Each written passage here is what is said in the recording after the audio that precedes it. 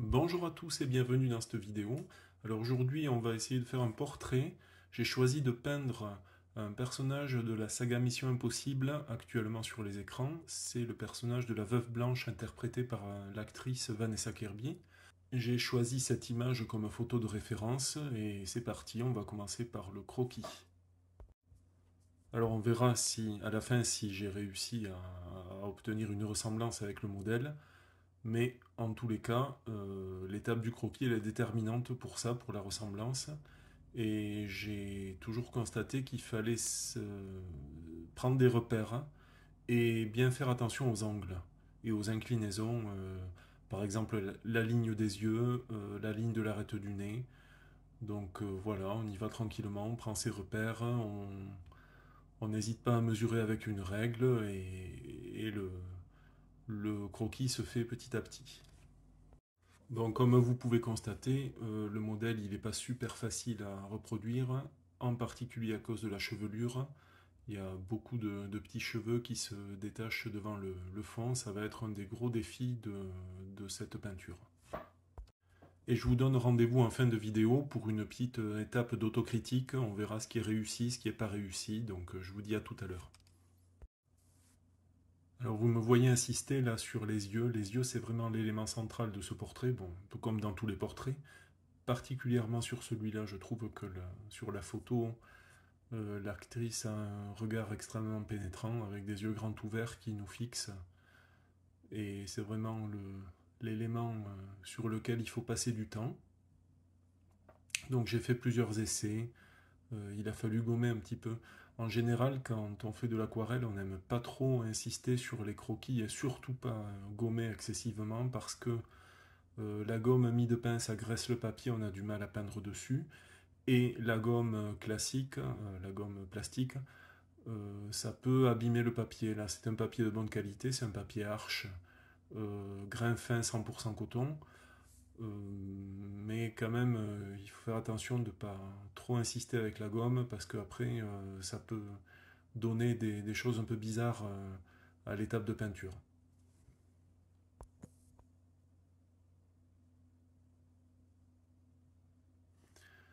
Pour gommer certains tout petits détails, j'ai même dû utiliser une gomme électrique très fine parce qu'avec la, la, grosse gomme, je faisais trop de, de grandes traînées.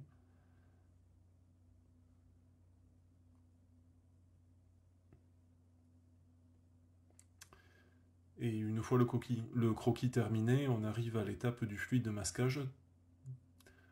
Euh, je me suis servi du, fluide de masquage, du drawing gum, donc pour, euh, euh, masquer l'emplacement des reflets dans les yeux, très précisément avec un petit cure-dent. J'ai dû faire plusieurs essais d'ailleurs parce que il fallait déposer une toute petite goutte qui était trop grosse au départ, donc j'ai dû l'enlever, la refaire.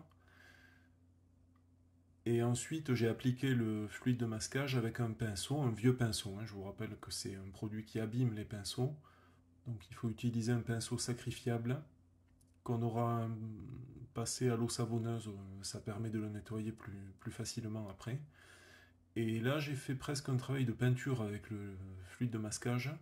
Je suis passé sur les zones, les, enfin les rehauts les zones les plus claires donc dans, la chevelure, que j'ai choisi de réserver pour pouvoir les peindre vraiment à la fin pour être sûr de ne pas les contaminer avec une peinture plus foncée au moment où je peindrai le reste de la chevelure.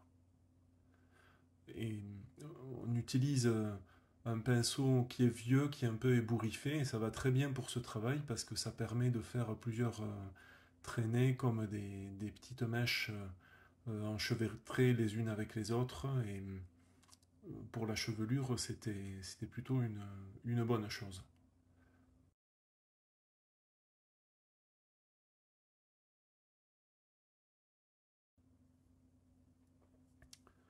Ensuite, j'ai dessiné au liquide de masquage euh, les cheveux les plus fins qui se détachent euh, de part et d'autre de la chevelure, enfin surtout sur la partie gauche qui est, qui est éclairée, euh, en utilisant à nouveau un cure-dent euh,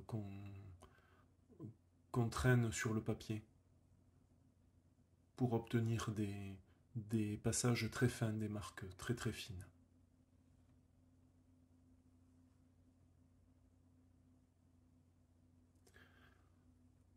Ensuite, j'ai fait quelque chose d'assez inhabituel. Euh, c'était la première fois que je faisais ça. Je ne sais pas si je le recommencerai la prochaine fois. C'est que euh, j'ai utilisé des feutres à encre de Chine noire de marque Faber-Castell, des, liners en fait très fins, pour euh, colorier la pupille des yeux et un petit peu aussi les sourcils, euh, euh, les cils pardon, maquillés au mascara. Ce sont les zones qui ont vraiment un aspect très très noir. Et j'ai fait ça par facilité parce que au pinceau c'est difficile d'être extrêmement précis et que je voulais poser cette, euh, cette base là avant de commencer à peindre pour avoir tout de suite la précision que je voulais obtenir. Certains diront que c'est un petit peu de la triche, mais bon, pourquoi pas. encore quelques ajouts de, de fins euh, cheveux au drawing gum. En tout cas, pour revenir sur ces liners Faber-Castell, je sais que c'est de l'encre de Chine qui est à l'intérieur, donc il n'y a pas de, risque que ça se dilue à la peinture.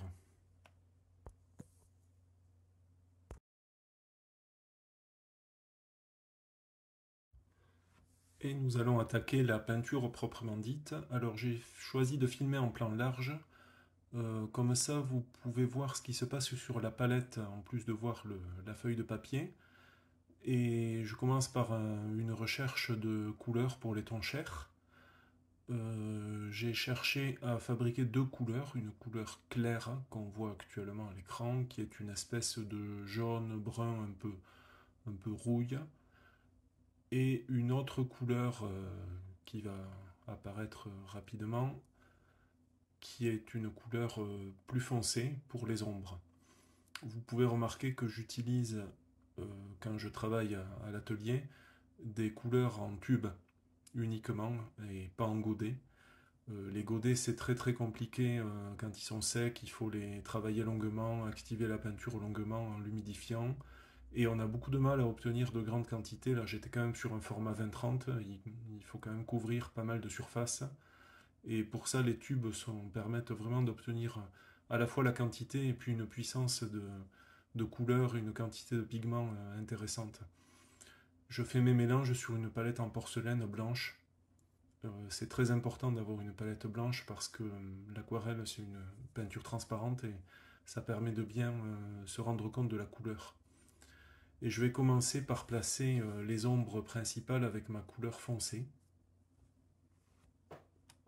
donc les sourcils en l'occurrence.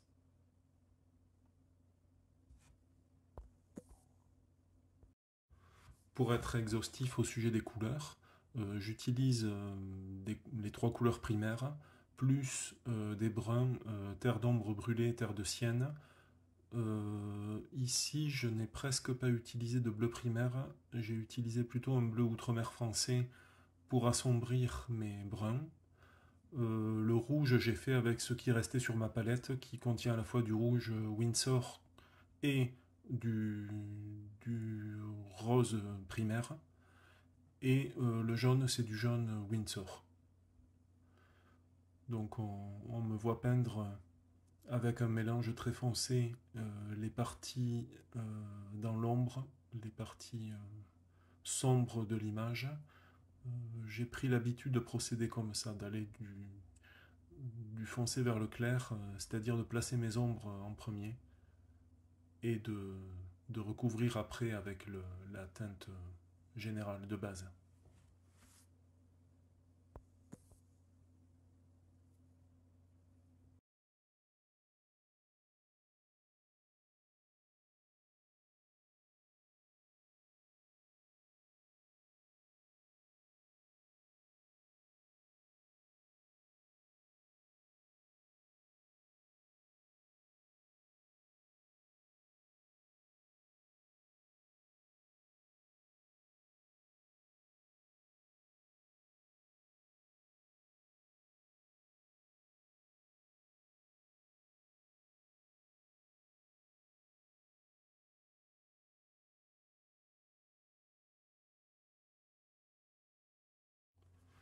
On va pouvoir maintenant appliquer la couleur de base sur le visage.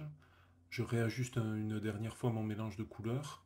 Comme je l'ai déjà expliqué dans d'autres vidéos, je teste mes couleurs sur des feuilles de papier aquarelle achetées à très bon marché.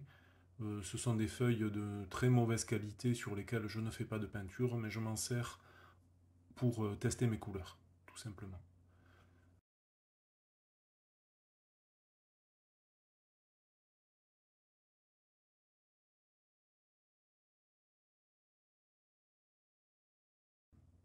J'applique une couleur très diluée avec beaucoup d'eau sur la partie euh, éclairée du visage.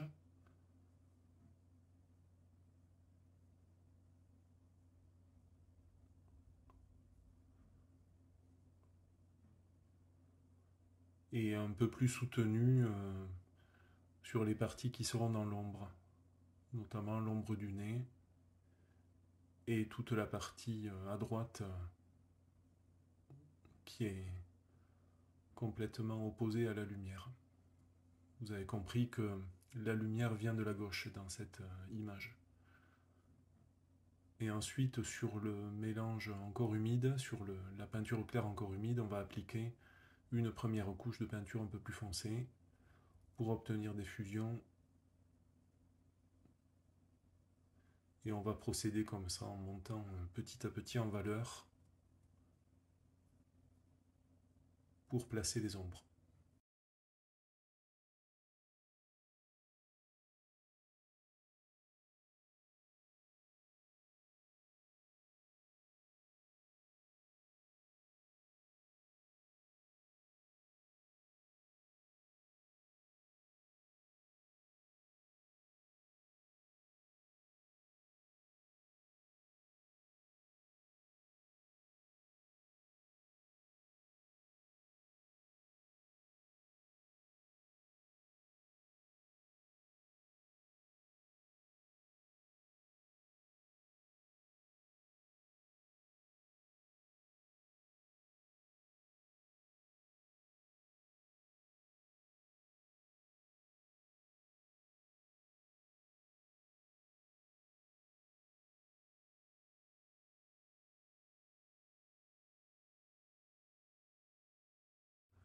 À présent, on va travailler un petit peu des détails. Je commence par le tour des iris euh, avec un tout petit pinceau. C'est un pinceau d'Avinci Casaneo en taille 2. J'ai préparé un mélange brun et je trace le contour euh, des iris en faisant très attention. C'est quelque chose que je n'avais pas fait au liner parce que ce n'était pas noir.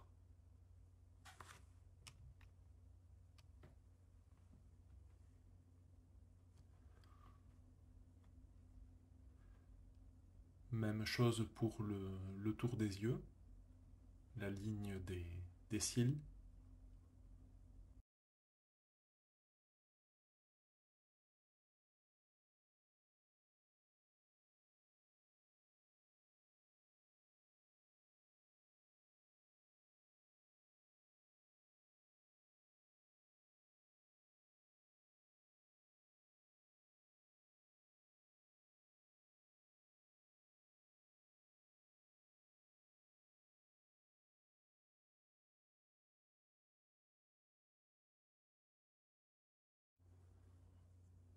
Maintenant, on va faire une nouvelle application d'ombre, de, teinte soutenue pour les ombres. Euh, c'est la technique du glacis, où on repasse euh, plusieurs fois sur une zone déjà peinte pour augmenter la, la valeur. Vous pouvez remarquer que dans un premier temps, ma zone d'ombre est très délimitée et qu'ensuite je vais adoucir les bords en rinçant le pinceau en le séchant un petit peu, mais en le laissant quand même encore humide et en passant avec ce, pinceau rincé un peu humide sur la délimitation.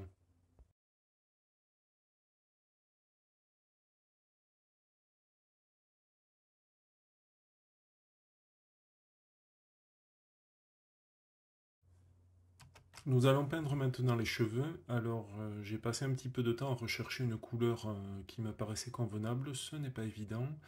Euh, les cheveux blonds, ben oui, c'est jaune, mais il faut pas non plus tomber dans le jaune paille. Euh, c'est peut-être un petit peu mon défaut d'ailleurs sur le résultat final, enfin on verra bien. Euh, j'ai commencé par chercher une teinte jaune avec un petit peu de brun quand même pour donner un aspect un peu châtain qui va être la base de la, coloration des cheveux sachant que, ne l'oubliez pas, j'ai réservé les, les rehauts, les parties les plus claires sous le drawing gum. Je vais aussi utiliser une teinte plus foncée, plus marron pour euh, les mèches les plus sombres.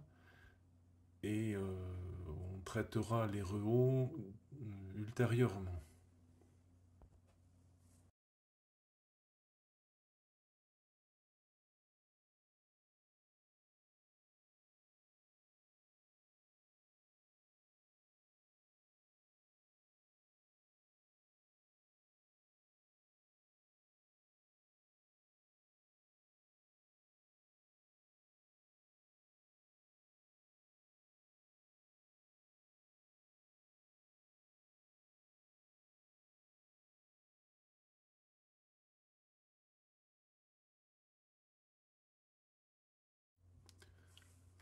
Voilà, on passe maintenant à la couleur des yeux, des, iris et, du blanc des yeux.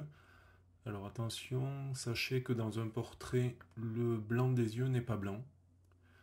J'ai préparé un gris légèrement rosé euh, pour peindre le soi-disant blanc des yeux. Euh, un petit peu plus sombre euh, du côté droit, du côté ombre, pour donner un petit peu de relief et un peu plus clair côté lumière. Les yeux, c'est une, une sphère, hein, donc euh, l'éclairage n'est pas le même à droite et à gauche de l'œil.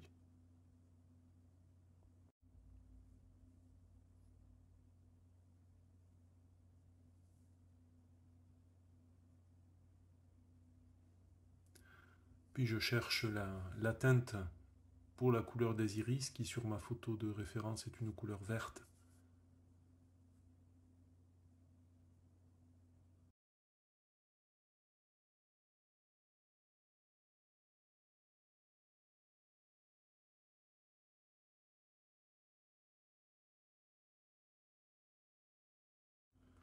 On va peindre maintenant les lèvres. Euh, j'utilise un rose je vais éclaircir avec euh, une encre blanche aquarelle liquide de marque PBO pour obtenir un rose euh, très clair.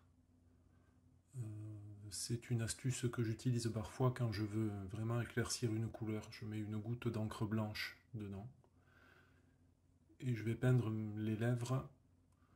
Il n'y a pas de difficulté particulière à cette étape, si ce n'est qu'on reviendra accentuer avec un peu de rouge le, bord de la lèvre inférieure et la partie droite qui est plus à l'ombre. Et on fera un retrait euh, sur la lèvre inférieure du côté lumière pour donner un petit peu de brillance.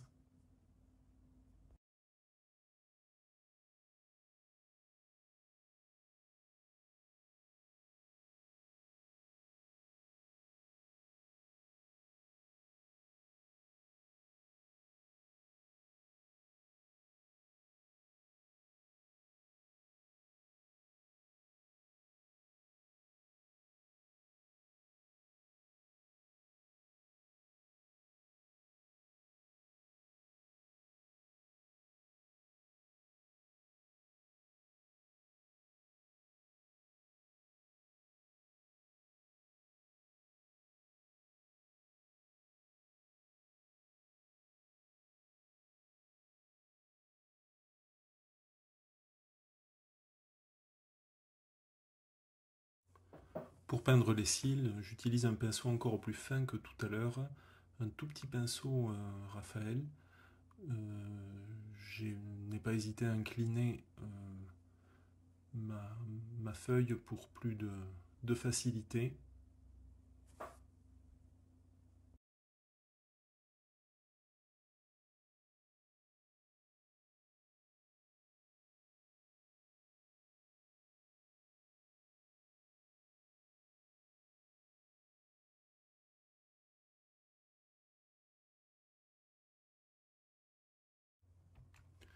Nous allons peindre maintenant l'arrière-plan avant d'avoir terminé la chevelure parce que certains cheveux se détachent devant l'arrière-plan des, petites mèches et des, de fins cheveux qui sont euh, masqués par le drawing gum et que, l'on peindra vraiment en toute fin, en, dernière étape.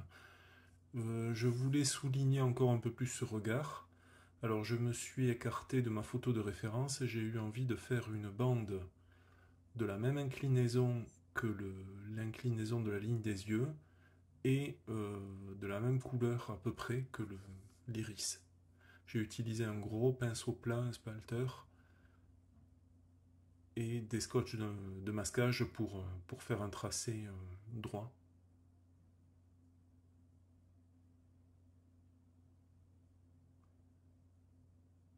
J'ai essayé de dégrader un petit peu en donnant un peu plus de profondeur à la couleur sur les extrémités. Et je fais des petits retraits pour détacher les, les mèches de cheveux euh, qui sont recouvertes par cette bande colorée. Ensuite, on passe rapidement sur la peinture du vêtement, euh, un élément que j'ai traité assez rapidement, euh, sans trop le détailler, parce que c'était pas du tout la partie à laquelle je voulais donner de l'importance. Je retire le drawing gum sur les reflets des yeux très très très méticuleusement avec une lame de cutter. C'est tout petit. Euh, ça s'est très bien passé, ce qui me fait dire que ce drawing gum est de bonne qualité, contrairement au stylo drawing gum, pourtant de la même marque, qui m'a déjà posé des problèmes sur d'autres peintures parce qu'il arrache le papier au niveau des, des retraits. Là, ça s'est bien passé. Et on va continuer à peindre l'arrière-plan. Euh, d'abord, on enlève les scotch de masquage et euh, j'ai décidé de peindre euh, d'autres bandes,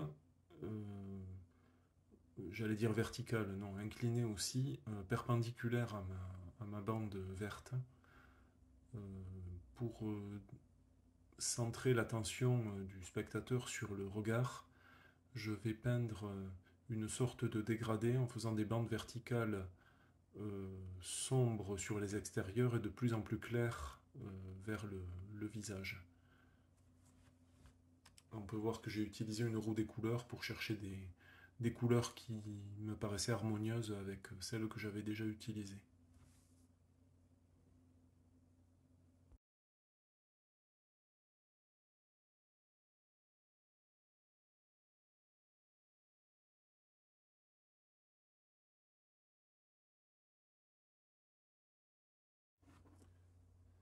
Et nous arrivons à la dernière partie de la réalisation, donc je retire le drawing gum de la chevelure et je vais pouvoir peindre euh, ces rehauts. Là pour l'instant, ben, évidemment le papier est totalement blanc. Et je vais à nouveau utiliser l'astuce de l'encre blanche mélangée à du jaune pour avoir une couleur très très très claire puisque ces zones sont vraiment euh, extrêmement lumineuse. Et je vais peindre des, des mèches euh, très claires dans ces, dans ces zones blanches, mais je vais également euh, y mélanger des mèches euh, un peu plus jaunes pour créer une variété. Voilà donc le résultat final, et maintenant on va pouvoir passer à la phase d'autocritique.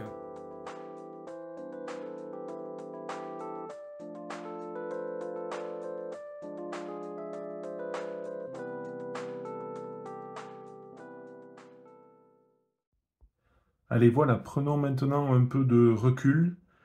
C'est pas évident quand on a fait une peinture de se mettre à distance euh, pour essayer de critiquer objectivement ce qu'on a fait. Euh, je vais commencer par les points négatifs. Euh, ce qui me gêne peut-être un petit peu, c'est que j'ai fait les yeux trop grands.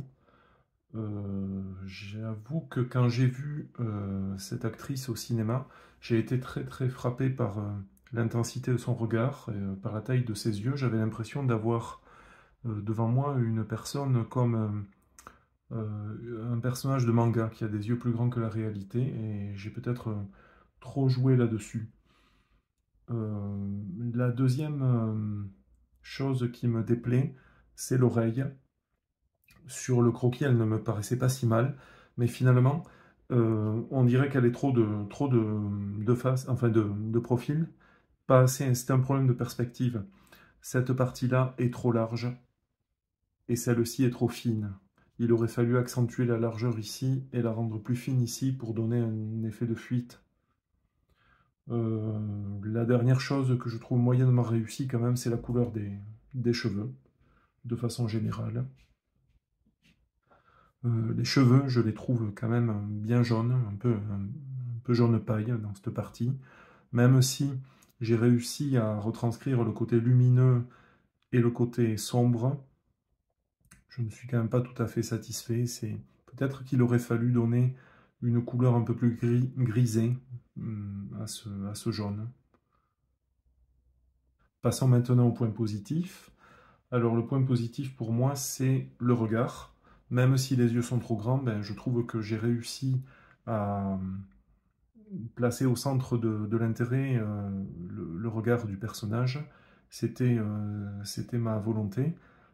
Euh, à la fois par l'intensité du regard et aussi par le fond et ce, dégradé de couleur qui nous ramène sur le, visage. Ensuite, ce que je trouve réussi, c'est la couleur de la peau. En particulier dans les zones claires, je trouve que j'ai trouvé une bonne teinte euh, pour, euh, pour cette personne. C'est peut-être un petit peu moins réussi dans le, dans le cou. c'est normal que ce soit gris ici parce que c'est dans l'ombre, mais là, Peut-être que c'est un petit peu trop, trop sombre. Euh, une autre chose que je trouve très bien réussie, c'est la bouche. D'ailleurs, je vais vous montrer ça de plus près.